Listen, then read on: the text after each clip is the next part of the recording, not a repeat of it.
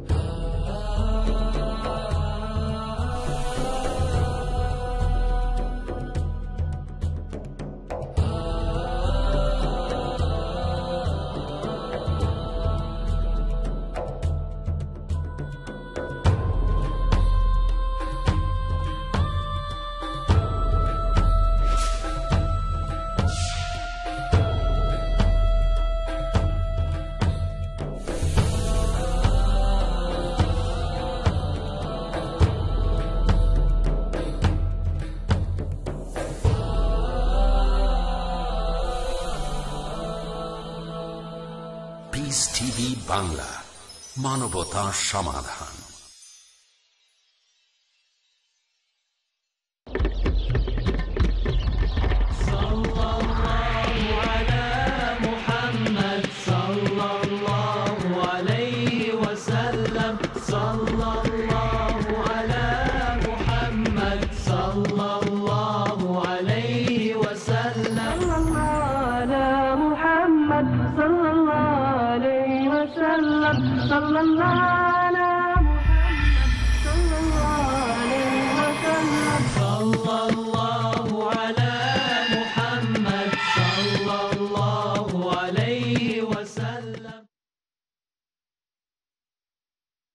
আসসালামু আলাইকুম রহমতুল্লাহ ওবরাকাত আলহামদুলিল্লাহ। আলহামদুলিল্লাহ রব্বিল আলমিন। ওসলাতু ওসালাম আলা সঈদুল মুরসলিন। নবীনা ও ইমামিনা ও কাঈদিনা ও কুদওয়তিনা মুহাম্মদ ওয়ালা আলিহি ও আসহাবি ও আজওয়াজহি ওদুরিয়াতি ওয়ালা মন তাবিআহুম বিহসানিন ইলা ইয়াউমিদ্দিন। আম্মা বাদ। সুপ্রিয় দর্শক, শ্রোতা পৃথিবীর যে প্রান্তে, যে দেশে বসে পিস টিভি বাংলার এই সুন্দর আয়োজন দেখছেন, আপনাদের প্রত্যেককে প্রাণ ঢালা শুভেচ্ছা জানাচ্ছি আর সাদরে আমন্ত্রণ জানাচ্ছি মুহাম্মদুর রসুল্লাহ সাল্লাহ তালা আলিহি ও আলিহি ওসাল্লামের পবিত্র জীবনের পবিত্র আঙ্গিনায় বিশ্বনবী সাল্লাহ আলী ওসাল্লামের সিরাতের আলোচনায় বিশ্বনবী মোহাম্মদুর রসুল্লাহ সাল্লাহ আলী ওসাল্লামের জীবনের অধ্যায়গুলোকে মন্থন করার আমাদের এই অনুষ্ঠানে। বন্ধুগণ, মোহাম্মদুন সাল্লাহ আলী ওসাল্লাম জন্মের আগে অথবা জন্মের কিছুদিনের মধ্যেই তার পিতা ইন্তেকাল করেন। মাত্র ছয় বছর বয়সে মাকে হারান। তারপর দাদা আট বা দশ বছর বয়সে দাদাও হারান। তারপর চাচার তত্ত্বাবধানে বড় হয়ে ওঠেন। বারো বছর বয়সে চাচার সাথে বৈদেশিক বাণিজ্যে আন্তরাষ্ট্রীয় বাণিজ্যে গেলেন। এরই মধ্যে পনেরো বছর বয়সে হারবুল ফুজ্জার হলো।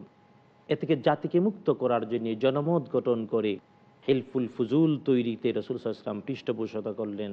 তিনি অগ্রণী ভূমিকা রাখলেন। ধীরে ধীরে ভালো মানুষের এই সংগঠনের তত্ত্বাবধান করে করে সবার কাছে পরিচিত হয়ে উঠলেন মোহাম্মদ বিন আবদুল্লাহ, পরম সত্যবাদী এবং বিশ্বস্ত দুটি উপাধিতে। নবুয়ত পেয়েছেন চল্লিশ বছর বয়সে, কিন্তু নবুয়ত পাওয়ার কমপক্ষেও বিশ বছর আগে চরম সত্যবাদী, পরম বিশ্বস্ত আল আমিন আসাদেক এই দুটি লকবে ভূষিত হলেন। আরবের সর্বসাধারণ সবার কাছে পরিচিত হতে লাগলেন আসাদেক আল আমিন বলে। বরং মোহাম্মদ বিন আবদুল্লাহ নামটাও ঢাকা পড়ে গিয়েছিল। যৌবনে ব্যবসা করলেন। অর্থাৎ জীবনের প্রারম্ভে শ্রেষ্ঠ নৈতিকতা, মানবীয় গুণাবলীতে ধন্য হলেন মোহাম্মদ সাল্লাহ আলী হোসাল্লাম আর তারপর বাণিজ্য করলেন। এবং খাদিজুল কুবরা রাদি আল্লাহ তালানহা তার সাথে মুদারাবা বাণিজ্য করলেন, সিরিয়ায় গেলেন, অভূতপূর্ব মুনাফা বা লাভ অর্জন করলেন। এবার সংসারী হতেন মোহাম্মদ সাল্লাহ আলী ওসাল্লাম আর তার সংসারের সূচনায় অন্ধকার যুগের পবিত্রা নারী যিনি তাহেরা লকবে ধন্য ছিলেন তিনি প্রস্তাব দিলেন, আল আমিন আসাদিকের সাথে তাহেরা বা পবিত্রার নারীর বন্দনে সংসারের যাত্রা। বন্ধুগণ, আমরা অনেকেই কথা বলতে গিয়ে আক্ষেপ করি, ভালো ছেলে, ভালো মেয়ে পাবো কোথায়? ভালো মেয়ে, ভালো ছেলে পাবো কোথায়? বন্ধু, জেনে রাখা উচিত, এই পৃথিবীতে আপনি, আমি যদি ভালো হই, আপনার আমার জন্য আরেকজন ভালো অপেক্ষাই করছে, এটাই রব্বুল আলমিনের সুন্নাত। কারণ কোরআন আল করিম আল্লাহ সুবহান তারা নিজে সুন্দর করে বলেছেন আত্ময়িবুন আলী তৈবাত পবিত্র পুরুষ পবিত্র নারীর জন্যে অত্যয়িবাত অলিত্তয়িবিন পবিত্র নারী পবিত্র পুরুষের জন্য। আল খাবিসুন আলিল খাবিসাত, খবিস পুরুষ, খবিস নারীর জন্যে। ওয়াল খাবিসাত উলিল খাবিসিন, আর খবিস নারী খবিস পুরুষের জন্য। বাংলায় যেন এটার অনুবাদ এভাবেই বলে মানুষজন, রাজার জন্যে রানী, পেচার জন্যে পেচি। সুতরাং নিজেকে তৈরি করি আমরা। আমরা আজ একটি কথা বারবার উচ্চারণ করি, বন্ধু। পরিবেশটা খারাপ, সমাজটা খারাপ, ডানে খারাপ, বামে খারাপ, আমি ভালো হব কেমনি? মোহাম্মদ সাল্লামের উম্মত যে হতে চায়, মোহাম্মদুর রসুল্লাহ আসলামকে যে অনুসরণ, অনুকরণ করতেছে সেই কথা বলতে পারে না। কারণ তিনি তো প্রচণ্ড অন্ধকারের মধ্যে ভালো ছিলেন, পবিত্র ছিলেন। পাপের মধ্যে আকণ্ঠ নিমজ্জিত সমাজের একজন সদস্য হয়েও তিনি ছিলেন নিষ্পাপ। সবাই বলেছে পবিত্র, সবাই বলেছে সত্যবাদী আমানতদা অনেকে বলবেন, তিনি তো নবী ছিলেন, রব্বুল আলমিন তাকে তত্ত্বাবধান করেছেন। খাদিজা বিন্তু খুয়াইলি তিনি কি নবী ছিলেন? তিনি তো নবী ছিলেন না। তিনি একজন সাধারণ রমণী ছিলেন। রব্বুল আলমিন তার হাবিবের স্ত্রী হওয়ার মতো অনুমোদন করেছেন তাকে, কিন্তু তিনি তো যোগ্যতা অর্জন করেছেন। একজন নারী, যেখানে বেবিচার, অপরাধ, অশ্লীলতা, অন্যায় স্বাভাবিক বিষয় ছিল, তিনি তো পবিত্র ছিলেন। আসাদেক আল আমিন মোহাম্মদ সাল্লাহ আলী ওসাল্লাম এবং খাদিজা বিন্তু খোয়াইলিদ আত্মাহেরা রাদি আল্লাহ আনহা। অনেকে বলবেন, তারা পবিত্র? হ্যাঁ। আর কেউ ছিলেন হ্যাঁ ইতিহাস বলে গবেষকরা প্রমাণ করেছেন। অন্ধকার ওই সমাজে আরও কিছু মানুষ পবিত্র ছিলেন, যেমন আবু বাকর, ইবনে আবি কোহাফা ওসমান ইবনু আফফান। ওনারা পরিচ্ছন্ন জীবনের অধিকারী ছিলেন অন্ধকার সমাজে থেকে আমরা কি পারি না, বন্ধু? ওই যে সংসার সংসার যদি সুখের হতে হয়, তাহলে উত্তম নারী ছাড়া সম্ভব নয়। ভালো জীবন সঙ্গী ছাড়া, ভালো জীবন সঙ্গিনী ছাড়া সম্ভব নয়।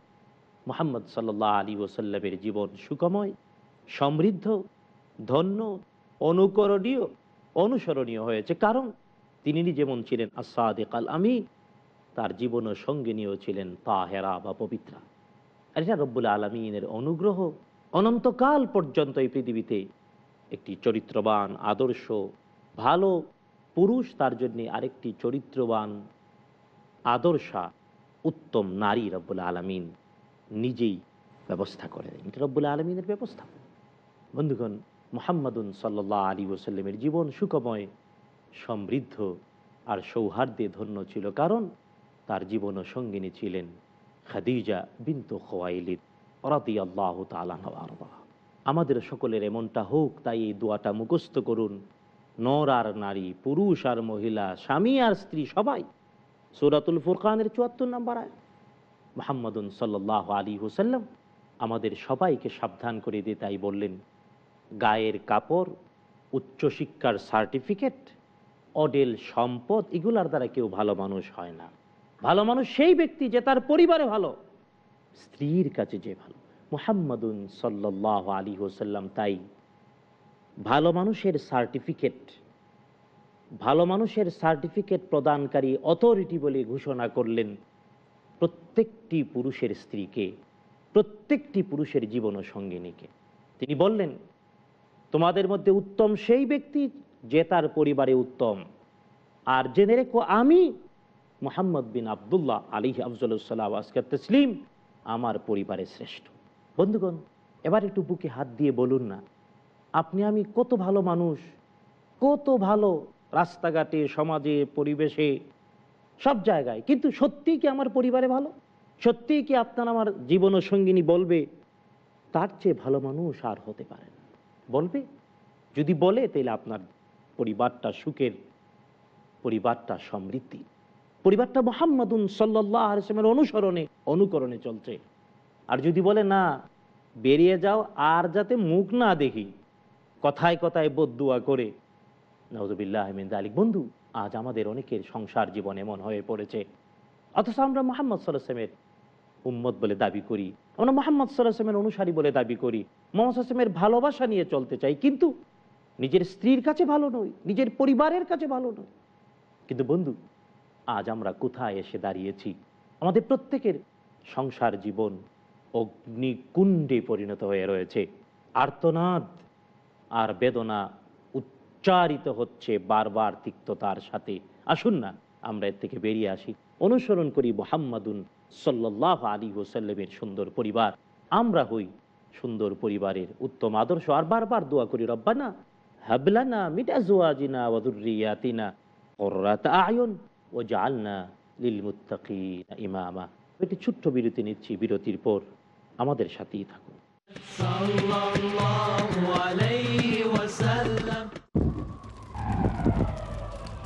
Dialogue. Dialogue. Dialogue. Discussion. Discussion. Debate. Debate. Debate. Rebuttal. Rebuttal. Conclusion. Conclusion. eliminate misconceptions about religion, get enlightened. Witness doctor Zakir Naik in a battle of words. দেখুন সম্মুখ সমরে প্রতি বৃহস্পতিবার রাত নটায় বা পুনঃ সম্প্রচার সকাল সাড়ে দশটায় বাংলাদেশে পিস টিভি বাংলায় নবীজি মোহাম্মদ সাল্লাহ আলহিসাল্লামের মণিমুক্তা। সুহাইব বিন সিনান আর রুমি রাদিয়াল্লাহু আনহু বলেন রসুল্লাহ সাল্লাহ আলহিসাল্লাম বলেছেন, মুমিন ব্যক্তির ব্যাপারটা অদ্ভুত। মুমিনের প্রতিটি কাজই তার জন্য মঙ্গলময়। এটা একমাত্র মুমিনেরই বৈশিষ্ট্য। তার সচ্ছলতা অর্জিত হলে সে কৃতজ্ঞতা প্রকাশ করে, তা তার জন্য কল্যাণকর। তার উপর কোনো বিপদ নেমে এলে সে ধৈর্য ধারণ করে, এটাও তার জন্য কল্যাণকর। সেহি মুসলিম, চতুর্থ খণ্ড, মন গলানো অধ্যায়, হাদিস সংখ্যা সাত হাজার একশো আটত্রিশ।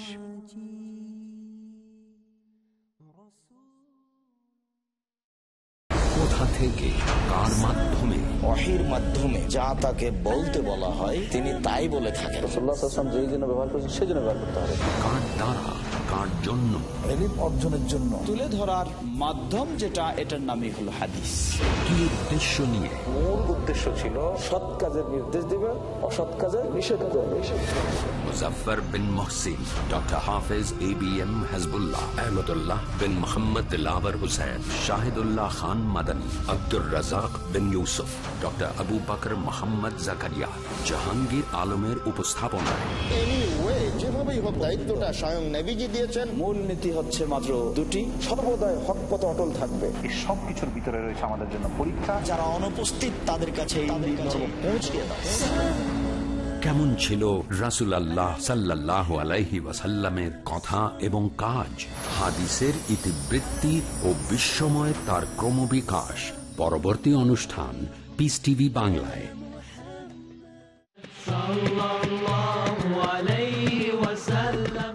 আসসালামু আলাইকুম রহমতুল্লাহ। বন্ধুগণ, ছোট্ট বিরতির পর আমরা আবারও ফিরে এলাম।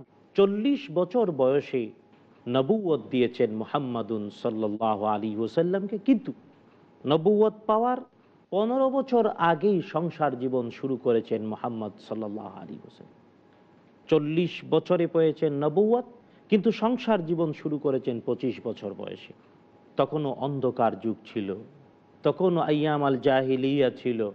তারপর রেসালাত আর নবুয়তের দাওয়াত ছড়িয়ে ছড়িয়ে তেরো বছর জুলুম আর অত্যাচার সহ্য করে নবুয়তের তেরো বছর অতিক্রান্ত হওয়ার পরে, মদিনায় হিজরত করার পরেই কেবল সোনালী সমাজের যাত্রা শুরু হয়েছে।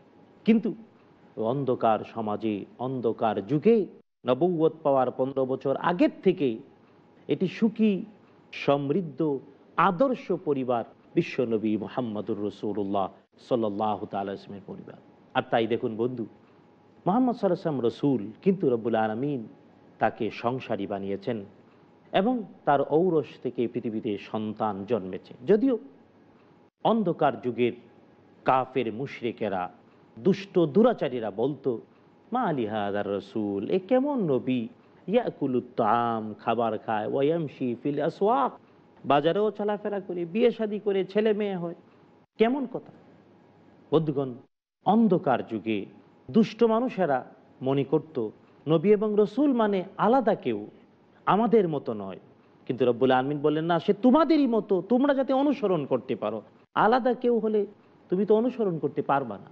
সত্তাই যদি ভিন্ন হয়, অস্তিত্বই যদি ভিন্ন হয়, অবস্থান যদি ভিন্ন হয়, তাহলে তো অনুসরণ করবে কেন রব্বুল আলমিন তাই বনি আদমদের মধ্য থেকেই আমরা যারা মানুষ আমাদের মতোই একজন মানুষকে নির্বাচিত করেছেন রাহমাতাল্লিল আলামিন হিসেবে, সর্বশেষ, সর্বশ্রেষ্ঠ রসুল হিসেবে, আর তার জীবন পুরোটা আমাদের জন্য অনুসরণ।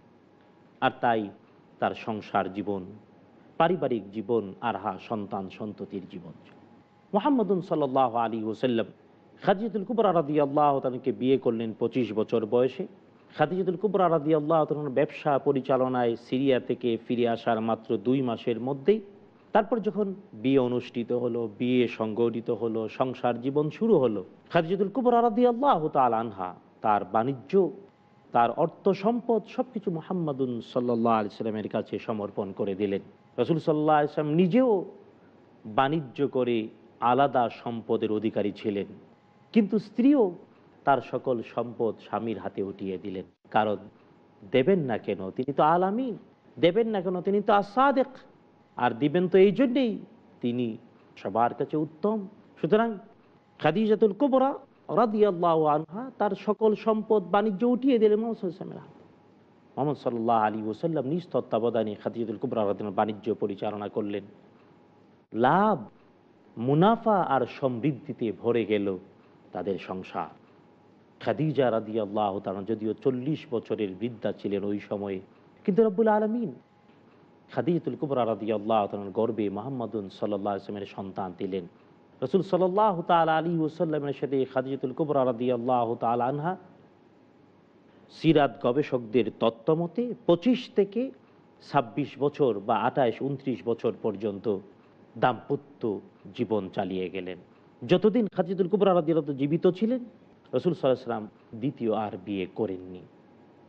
খাজিদুল কুবরা রাদি আল্লাহ তালা রসুল সাল্লাহ তাল আলী ওসাল্লামের জীবনে প্রেম, ভালোবাসা, সৌহার্দ্য, সম্প্রীতি তথা শ্রেষ্ঠ মা হিসেবে, সন্তান লালন পালনকারী মা হিসেবে, এমনকি নবুয়তকে এবং রেসালাতকে সাহায্যকারিণী হিসেবে নিজেকে ধন্য করে দিয়েছেন।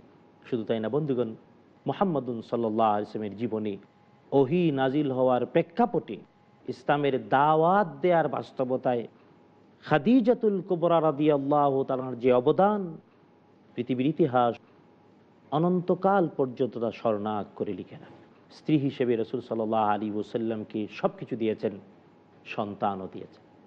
আর অন্ধকার যুগের এই মুহূর্তে নিজেদের সন্তানকে ভালো রেখেছেন রসুল সাল্লামের সন্তান। সবাই আমাদের কাছে মডেল কারণ অন্ধকার যুগেও তারা জন্ম নিয়ে ভালো ছিলেন, পবিত্র ছিলেন। আজকে আমরা অনেকেই সন্তান ভালো করতে পারি না, মানুষ করতে পারি না। মোহাম্মদুন সাল্লাহ তাল আলী ওসাল্লাম এবং খাদিজা আল কুবরা রদি আল্লাহ আনহা তাদের দাম্পত্য জীবনের প্রথম সন্তান ছিলেন পুত্র, তার নাম ছিল কাসেম।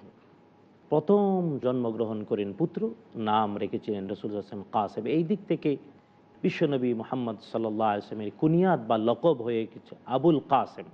যতদিন মোহাম্মদ বিন আবদুল্লাহ আসলাম জীবিত ছিলেন, ততদিন পর্যন্ত নিষিদ্ধ ছিল তার উপনামে কেউ নাম রাখবে। মোহাম্মদ এই নামে নাম রাখাটা অনুমোদিত ছিল, কিন্তু আবুল কাসেম এই নামে নাম রাখাটা অনুমোদিত ছিল না। যতদিন জীবিত ছিলেন মোহাম্মদুন সাল্লাহ আলী হোসেন বন্ধুগণ, মোহাম্মদ সাল্লাহ আলী ওসাল্লামের সংসারে প্রথম সন্তান পুত্র, কিন্তু এই পুত্র বেশি দিন পৃথিবীতে জীবিত থাকেননি। রসুল সাল্লাহ আলিসলামের পুত্র আবুল কাসেম ইন্তেকাল করেন।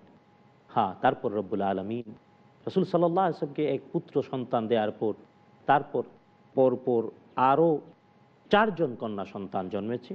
তারপরে আবার একজন পুত্র সন্তান। কোন কোন সিরাত গবেষকগণ বলেছেন, রসুল সাল্লাহ তাল আলী ওসাল্লাম অর্থাৎ মোহাম্মদ বিন আবদুল্লাহ আলিহি আফজলুসাল্লাহ আসকাত তসিম এবং খাদিজা আল কোবরা আল্লাহ আনহা, তাদের এই দম্পতির তাদের সাংসারিক জীবনে তিনজন পুত্র এবং চারজন কন্যা ছিলেন। একটি বর্ণনায় দুইজন পুত্র, চারজন কন্যা, আরেক বর্ণনায় তিনজন পুত্র, চারজন কন্যা। তবে প্রায় সকল ঐতিহাসিকগণ একমত, মোহাম্মদুন সাল্লাহ আলী ওসাল্লামের তথা খাদিজা এবং মোহাম্মদুন সাল্লাহ আলী ওসাল্লাম এবং খাদিজাদুল কুবরা আল্লাহ আনহা এই দম্পতির প্রথম পুত্র সন্তান, এতে কারও কোনো দ্বিমত নেই।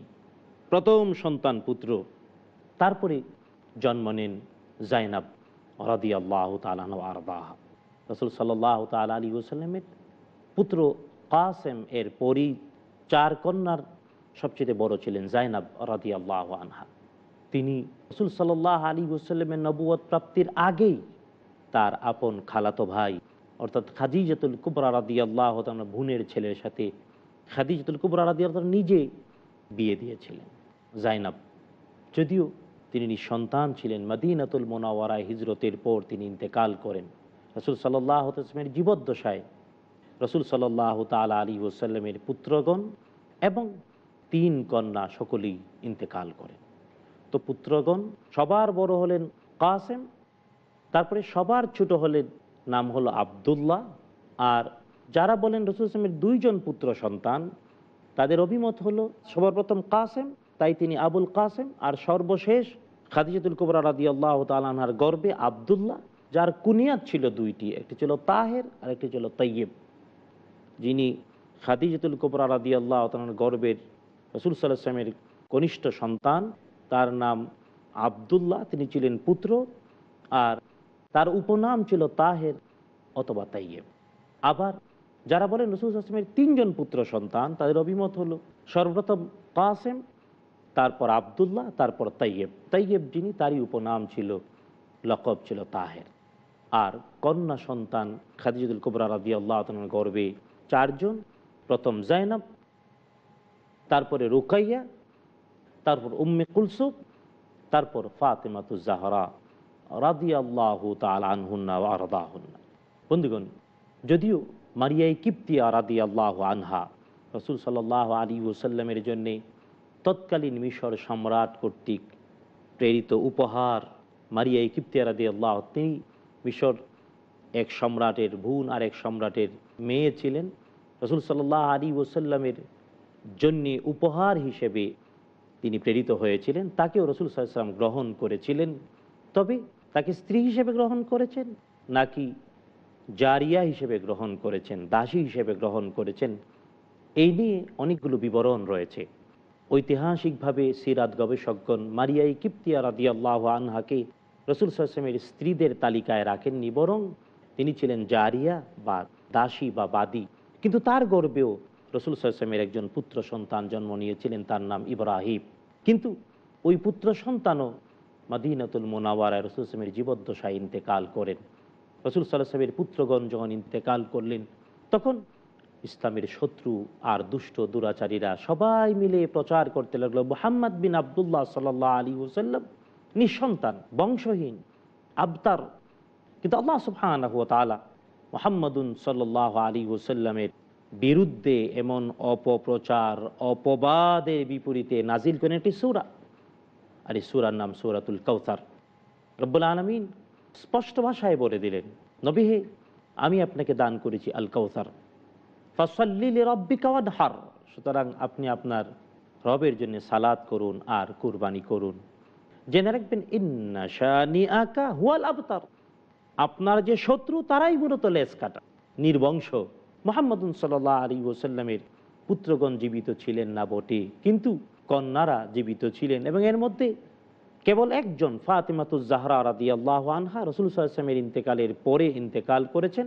কিন্তু এর আগে রসুল সাল্লামের জীবদ্দশাতেই তিন পুত্র অথবা চার পুত্র। খাজিদুল কুবরা রাদি আল্লাহর গর্ব থেকে যদি তিনজন ধরা হয়, তাহলে উমারিয়াই কিপ্তিয়া রাদি আল্লাহ গর্ব থেকে একজন মোট চার পুত্র।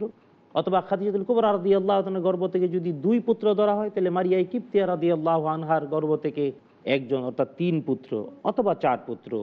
আর চার কন্যার মধ্যে তিন কন্যা রসুসমের জীবদ্দশায় ইন্তেকাল করেন। কেবলমাত্র ফাতেমাতুজ জাহরা রাদি আল্লাহ আনহা আলী ইবনে আবি তালিব রাদি আল্লাহ সাথে যাকে তিনি বিয়ে দিয়েছিলেন, বদরের যুদ্ধের পর, উহুদের যুদ্ধের আগে আগে মাঝ মাঝ সময়ে মাদিনাতুল মোনাওয়ারায়, তিনি রসুলের ইন্তেকালের ছয় মাস পর ইন্তেকাল করেন। আর তার গর্বেই দুইজন পুত্র সন্তান হাসান এবং হুসাইন অরাদি আল্লাহ তালানহুম আরদা জন্মগ্রহণ করেছিলেন। আর জাইনাব অরাদি আল্লাহ আনহা, তিনি সন্তান ছিলেন। রুকাইয়া এবং উম্মে কুলসুম রাদি আল্লাহ তাল আনহুমা এই দুইজনকে পর পর একজনের ইন্তেকালের পর আরেকজন, এই দুইজনকে রসুল হাসান বিয়ে দিয়েছিলেন ওসমান ইবনু আফফান রদি আল্লাহ তালানহুর সাথে। একজনের ইন্তেকালের পরে রসুল হাসান আরেকজনকে বিয়ে দেন। যে কারণে ওসমান রদি আল্লাহকে বলা হয় দিন নুরাইন জু আন্নুরাইন, দুই নূরের অধিকারী। রসুল হাসামের সাদ করছেন, যদি আমার তৃতীয় আরেকটি কন্যা সন্তান থাকতো, তাহলে দ্বিতীয় জনের ইন্তেকালের পরে তৃতীয় কন্যাকেও আমি উসমান রদিয়াল্লাহ আনহুর কাছে বিয়ে দিতাম। বন্ধুগণ, আজকের এই মুহূর্তে এসে আমাদের সবার কাছে বিচার্য হলো সিরাতুন্নবী থেকে শিক্ষণীয় হলো, মোহাম্মদুন সাল্লাহ আলী ওসাল্লামের সন্তানরা তার পরিবারে বেড়ে উঠেছেন অন্ধকার যুগের মধ্যেই। কিন্তু কোনো দুষ্ট, কোনো দুরাচারী কেউ রসুল হাসমের সন্তানদের ব্যাপারে এতটুকুন তিলক, এতটুকুন বদনাম লাগাতে পারে নাই বন্ধুগণ, অনেকেই বলবেন, সন্তান ভালো করব। অবশ্যই আমরা রব্বুল আলমিন যাতে কবুল করেন, আমরা দোয়া করব। রব্বুল আলমিন নিজেই সন্তান, সন্ততি, পরিবার ভালো করার জন্যে সন্তান জন্মের আগের থেকে উত্তম জীবন ও সঙ্গী আর সঙ্গিনী বাছাই করতে আদেশ করেছেন যেমনটা মোহাম্মদ আসলাম তার জীবনে করেছিলেন, এমনকি সন্তান, সন্ততি আর পরিবার পরস্পর পরস্পরের চোখের বনি হবে, দেখলে চোখটা জুড়াইয়া যেতে হবে।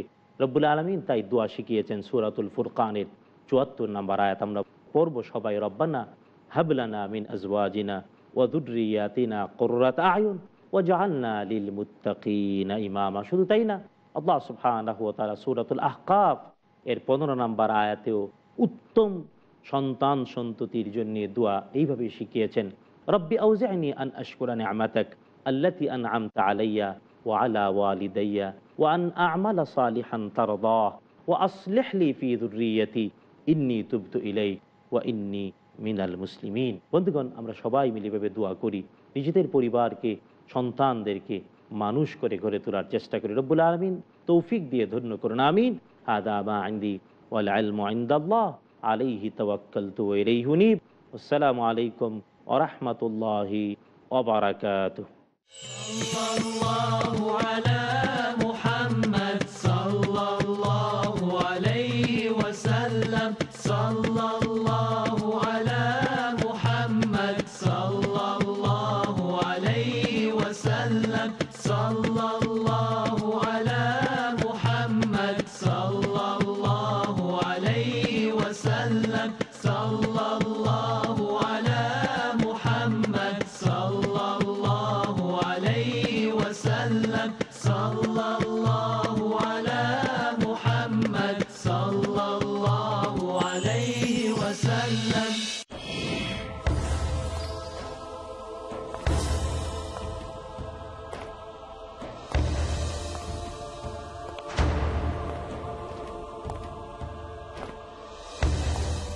কোরআন ও সুন্নাহর আলোকে জীবন ও মনকে উদ্ভাসিত করতে হলে করতে হলে চাই সুদৃঢ় ঈমান এবং পরিচ্ছন্ন। পরিচ্ছন্ন পরিচ্ছন্ন পরিচ্ছন্ন কীভাবে অর্জিত হবে ইমানের দৃঢ়তা এবং অন্তরের পরিচ্ছন্নতা? সে বিষয়ে বিস্তারিত জানতে হলে আলোচনা শুনুন আমাদের ধারাবাহিক প্রোগ্রামে। সরল পথে চোখ রাখুন কেবলমাত্র পিস টিভি বাংলায়।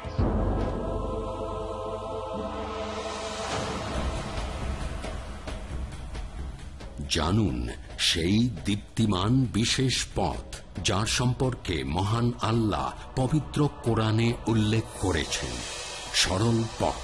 প্রতি সোমবার রাত সাড়ে আটটায় বা পুনঃ সম্প্রচার সকাল সাতটায় বাংলাদেশে। পিস টিভি বাংলায়।